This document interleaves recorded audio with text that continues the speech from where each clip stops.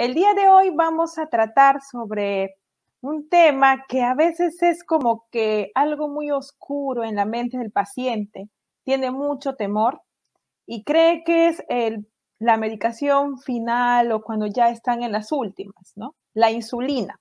Vamos a hablar un poco sobre esta hormona que hoy por hoy la tenemos ya pues sintetizada de manera comercial y las técnicas y la técnica adecuada para la administración de, la misma, ¿no? Lo que el paciente debe conocer sobre esto.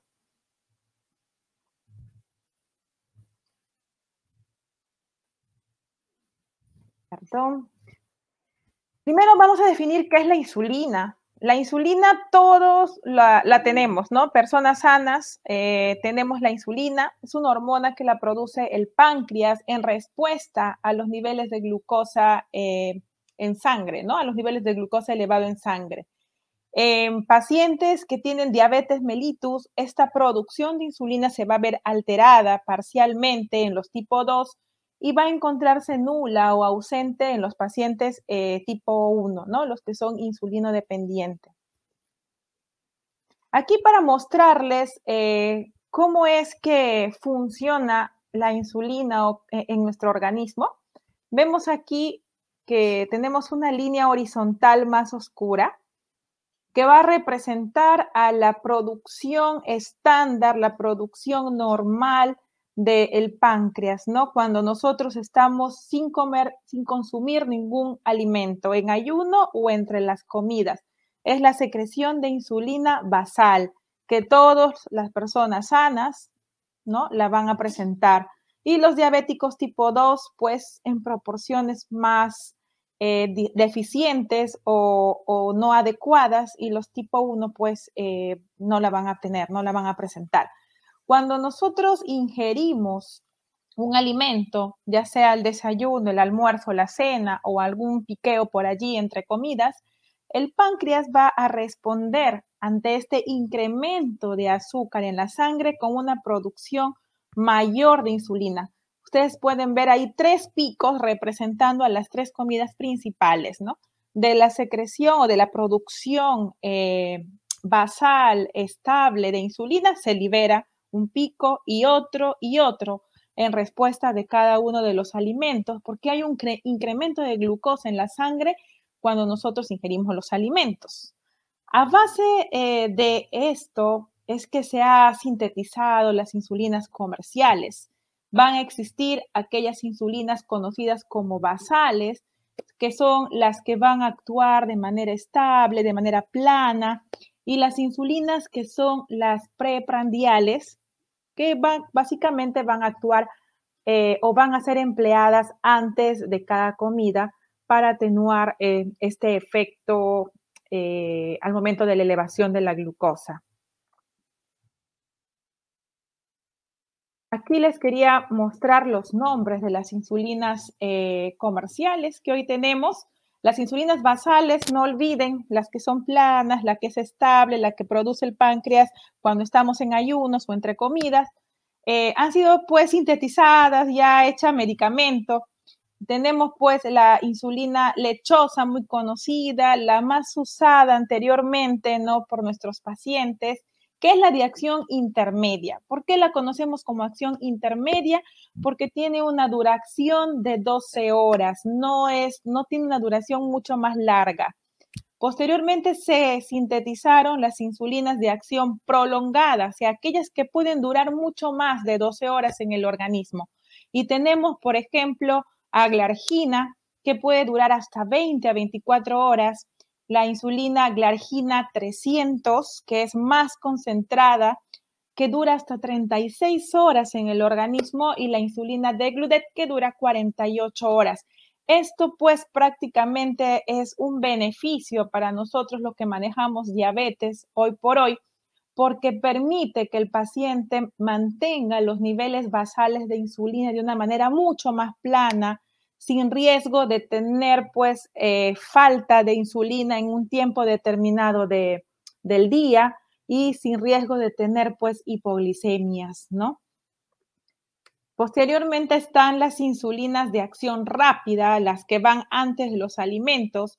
Están aquellas que tienen una acción de 30 minutos, nos coloca usted la insulina y a los 30 minutos pues inicia el efecto de esta insulina, que es la insulina regular, y las que son muchísimo más rápidas, que ya a los 10 minutos inclusive ya inician el accionar en el cuerpo.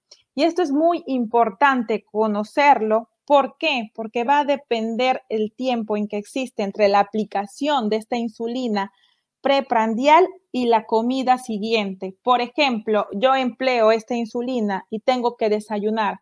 Me la tengo que aplicar si uso la regular 30 minutos antes del desayuno si uso la ultra rápida, sea cual sea, unos 10 a 15 minutos antes del desayuno, porque si yo me demora en aplicarme una hora o una hora y media, pues la insulina ya va a ser el, el inicio de acción y probablemente me puede sobrevenir una hipoglicemia porque no va a tener a qué glucosa bajar, porque no va a haber el consumo del alimento. Entonces, ahí hay que tener mucho cuidado. Hay algunos pacientes inclusive que se aplican después de comer, que no tendría mucho sentido porque la idea es captar esta insulina o, aplicar esta insulina para captar el pico de glucosa que producen los alimentos. Entonces, ojo con esto, y los pacientes usuarios de insulinas, tanto las basales como las insulinas rápidas o ultra rápidas, deben conocer qué insulina usan, cuál es el nombre de su insulina, cuánto dura la insulina en el cuerpo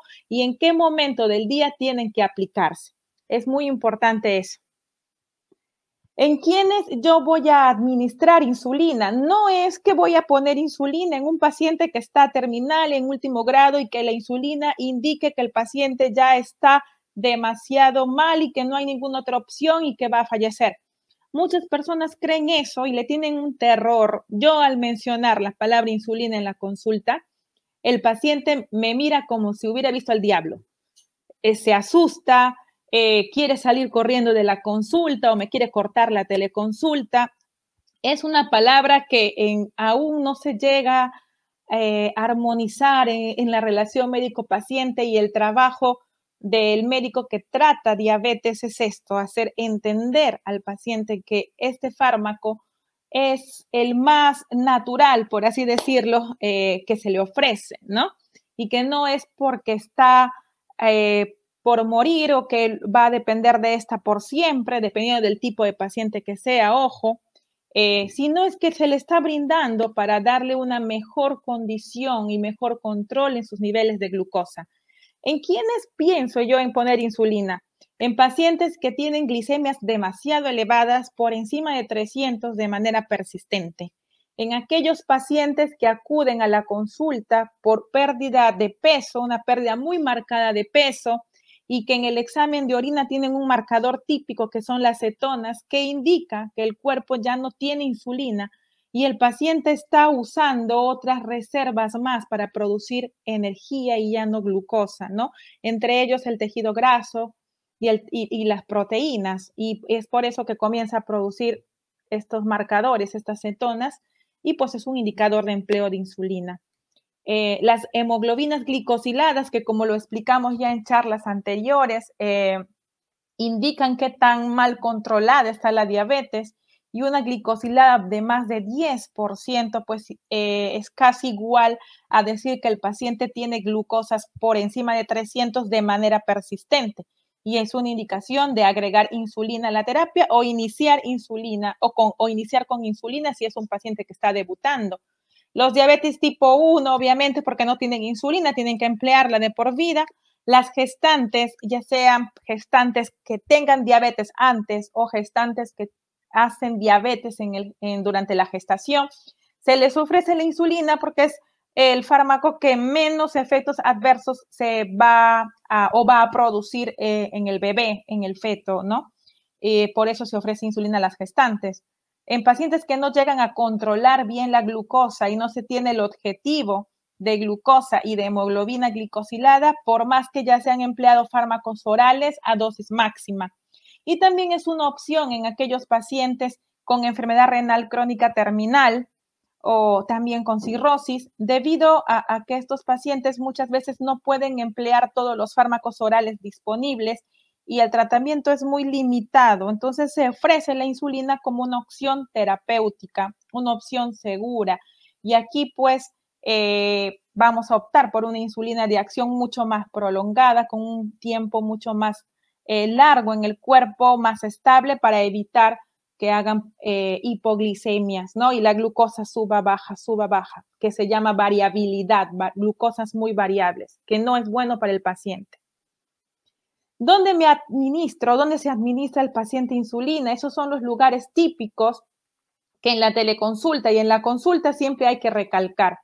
Eh, alrededor del ombligo, sobre todo pues tomando el parámetro del ombligo, tres dedos a la izquierda, tres dedos a la derecha y administrarlo en zonas diferentes por día, ¿no? Siempre siguiendo un patrón de agujas del reloj. Si yo lo miro de frente, o sea, yo soy la que administra la, insulina al paciente, sería de, de derecha a izquierda y si yo me administro la insulina sería de izquierda a derecha, ¿no? Va a depender de quién sea el que se administre, pero siempre seguir las agujas del reloj.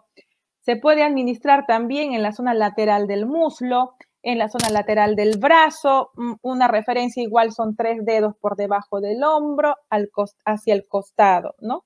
En la gestante eh, se trata de hacer un poco más hacia afuera la aplicación eh, de, la, de, la, insulina, de, de, la insulina, como pueden ver en la imagen. No están hacia adentro, no está tan cercana al ombligo, sino está mucho más abierta, mucho más hacia afuera, casi por los costados, ¿no? Por, por donde em, la zona que está entre la costilla y la cadera, en esa zona es, es la indicada en estas pacientes. Y, y siempre, pues, cuando el paciente es un paciente que recién va a iniciar la insulina, recalcar bien los lugares, eh, explicar al paciente en la consulta presencial o en la, o en la teleconsulta eh, sobre dónde es el adecuado lugar para administrar la insulina. Y aquí algo muy importante, que es cómo administrarla y en qué dirección administrarla. Va a depender mucho eh, de las agujas, ¿no? Y, del grosor también del espacio que existe entre la piel y, el músculo. La piel es la parte más amarilla que ven aquí ustedes y el músculo es la parte roja, ¿no? Entre la piel y el músculo es el espacio subcutáneo, que es donde se va a administrar la insulina. Si son agujas pequeñas, entre 4 a 5 milímetros, pues no es necesario hacer un pliegue para administrar la insulina, como pueden ver en la imagen y la forma de localización o la, o la dirección que va a tener la jeringa o el cartucho de insulina o el lapicero, perdón, va a ser en 90 grados, ¿no? Perpendicular a la piel, en 90 grados, derechito, recto, horizontal. Esa es la forma de administrar. En el caso de que las agujas ya vayan siendo un poco más largas, como la de 6 milímetros, en el adulto y en el niño ya es necesario hacer un pliegue para evitar que esta aguja pueda llegar al músculo, ¿no? Y, produzca pues una, una absorción o que la insulina no se absorba de manera adecuada. Entonces, en esos casos, aún se mantiene la, posición recta de la aguja o del lapicero de insulina, haciendo un pequeño pliegue discreto para levantar la piel y se levante el tejido que está entre la piel y el músculo y se pueda administrar de manera adecuada. Si la aguja es de 8 milímetros, ya más largas, generalmente estas agujas son las que acompañan a las jeringas, ya no acompañan a los lapiceros, como lo vamos a ver más adelante. Eh, en el niño es necesario cambiar el ángulo, ya no es un ángulo recto, un ángulo, este, ya no se pone de manera derecha la aguja con la piel, sino hay que hacer una discreta inclinación que haga pues un ángulo de 45 grados con el pliegue. En el adulto aún no es necesario, pero sí eh, quizás si estamos ante un adulto mayor que tiene este tejido subcutáneo un poco más delgado, eh, sí es necesario hacer pues un pliegue eh, mayor o incluso este, evaluar la angulación, ¿no? En, estos pacientes. Ahí hay que, hay que valorar mucho al momento de tener cada paciente con uno en la consulta. Si las agujas son mayores a 12 milímetros, generalmente estas son las agujas de tuberculina, las que tienen las jeringas más largas. Eh, en el niño no se recomienda y en el adulto sí, pero con, ángulo, ¿no? Recién es que vamos a emplear el ángulo en el adulto. Aquí está dos diferentes tipos de, de jeringas de insulina.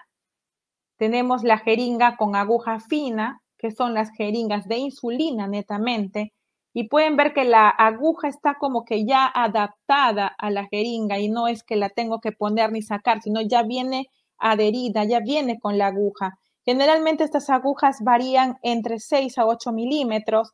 Eh, recuerden que si es así en un adulto con, buen, con buena cantidad de tejido subcutáneo, con buena cantidad, eh, por así decirlo, de grafita en la zona de administración, eh, no es necesario hacer un pliegue, ¿no? Puede ir de manera recta y ya está, ya con eso tranquilo.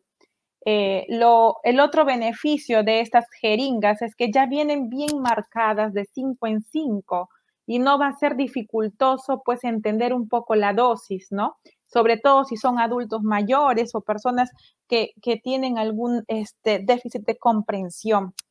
Eh, vemos aquí que el 5, pues efectivamente marca 5. Si yo le indico 5 unidades de insulina al paciente, pues pone la, eh, jala el líquido, extrae el líquido hasta el número 5. Si yo le indico 10, extrae líquido hasta el número 10. Si yo indico 15, pues hasta el número 15. Ya ahí va a depender de la dosis que uno se decide emplear. En cambio, vemos el otro extremo, que son las insulinas, eh, perdón, las jeringas eh, de tuberculina, ¿no? Las jeringas más comerciales, más cómodas. El, el riesgo aquí es que las agujas van a ser largas, van a medir más de 12 milímetros ya la administración no va a ser recta, porque si yo administro de manera recta, voy al músculo y voy a producir mayor sangrado, mayor dolor, mayor dificultad para absorber adecuadamente la insulina. En estos casos, sí hay que hacer el ángulo entre la piel y la aguja, que tiene que ser de 45 grados. No puede ir recta, no se olviden de esto. Y las jeringas, pues van a ser más difíciles de comprender porque como ven viene de 0.1 a 0.2 y hay algunos pacientes que pues le mencionas, colócate 5 unidades de insulina y ellos lo jalan hasta el 0.5, cuando en realidad ese 0.5 no es 5, es 50 y van a la hipoglicemia y a la emergencia. Entonces, estas este, insulinas van de 0.1, pero es cada 0.1 indica 10, 0.2 indica 20, van de 10 en 10 y ahí pues hay que tener mucho cuidado con, la dosis, ¿no?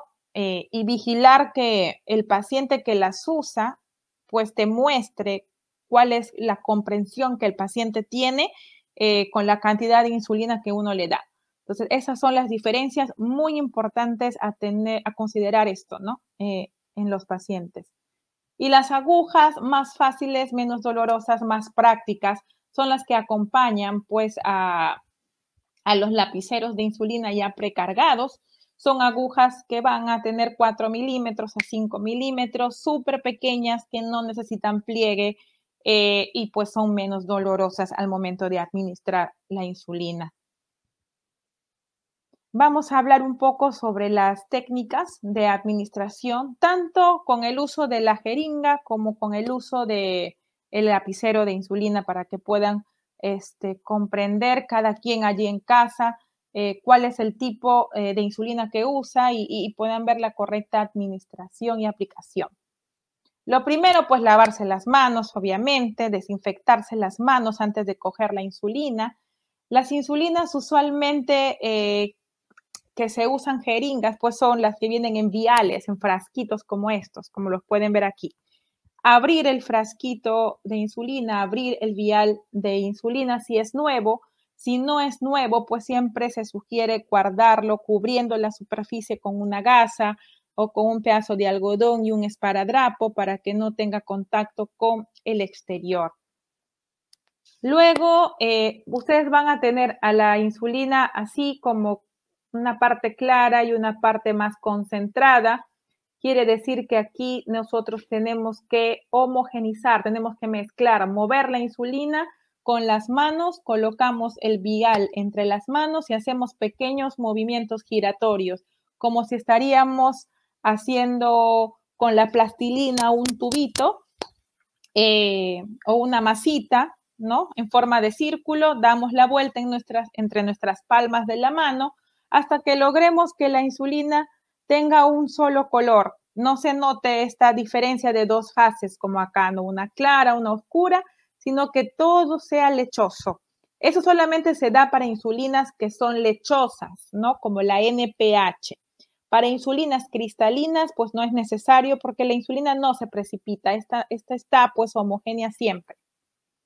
Luego de eso, pues de homogenizar, de mezclar, limpiar con alcohol la zona externa si es que la insulina ya ha sido abierta y, y pues proceder a extraer la insulina. ¿Cómo es que extraigo? Si uso yo mi jeringa, la coloco de manera vertical, 90 grados, este, para introducirla, luego volteo el vial con la jeringa ya hacia abajo, ya no está hacia arriba, y extraigo la cantidad de insulina que me indica el médico. Si es 10, 10, si es 5, 5, si es 20, 20.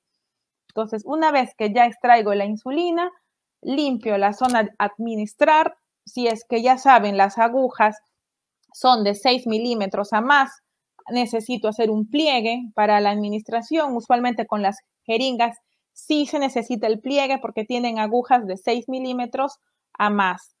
Van en ángulo recto, si es que ya son las jeringas de tuberculina que tienen las agujas mucho más largas, ya no voy a administrar en ángulo recto, sino en 45 grados. Eso es importante.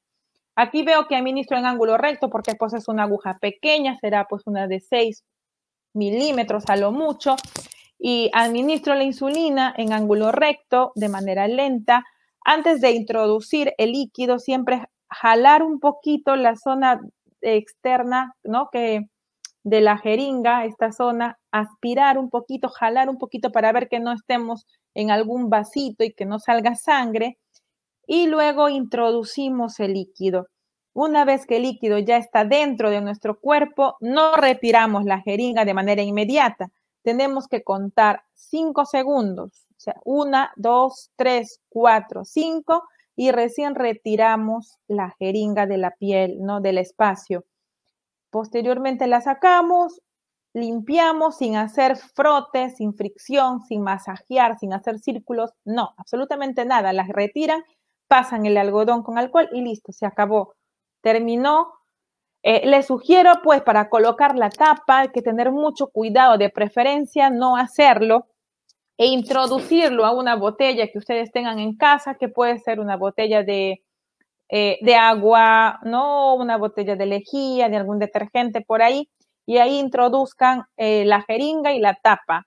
Siempre eh, estas botellas no llenarlas hasta el tope, hasta la mitad es lo recomendado.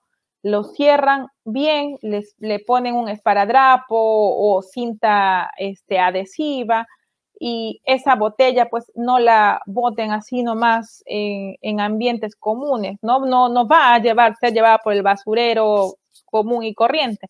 Tienen que llevarla al centro de salud más cercano a casa o inclusive si es que van a consultas presenciales, eh, llevarla al médico que los está tratando, porque ahí hay una forma especial de poder eliminar estos, estos productos, estos desechos.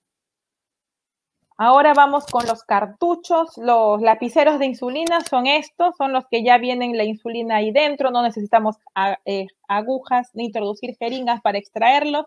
Solamente empleamos las pequeñas agujas que ya la vamos a, a conocer lavar las manos bien, retirar la tapa que está en la parte superior. Posteriormente, si es una insulina lechosa, porque si las hay, igual homogenizar la muestra hasta que se vea pues todo uniforme y no se vean dos colores diferentes. Si es una insulina cristalina, una insulina transparente, no es necesario hacer la mezcla. Las agujas son así, las que les mencioné de 4 y 5 milímetros. Eh, vienen con una cobertura en la parte baja que es fácil de retirar, se retira como un caramelo. Eh, luego se introduce en la zona superior del lapicero, se enrosca como una tuerca hasta que esté bien este, seguro y bien duro.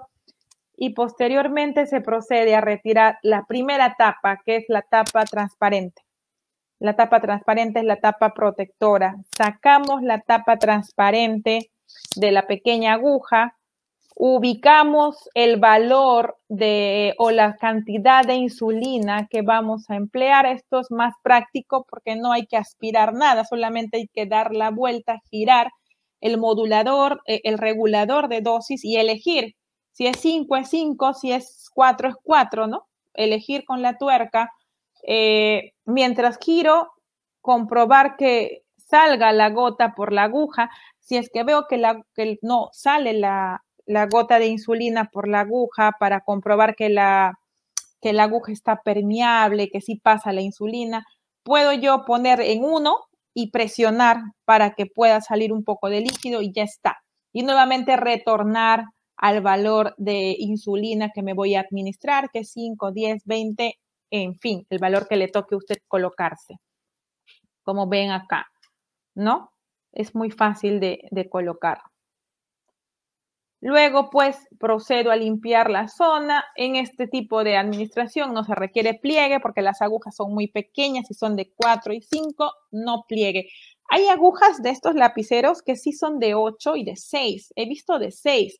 Entonces, en esos casos sí hay que hacer pliegue. Ya siempre es bueno que, le mencionen al médico o el médico también preguntar cuál es el, valor o el, largo de la aguja, ¿no? que le tomen una foto o que la lleven a la consulta para poder este, mirar bien qué aguja es y, explicarle mejor la técnica al paciente. Administra, eh, generalmente estas agujas tienen una zona final donde hay un pequeño botón eh, donde se presiona eh, para que la, insulina ingrese.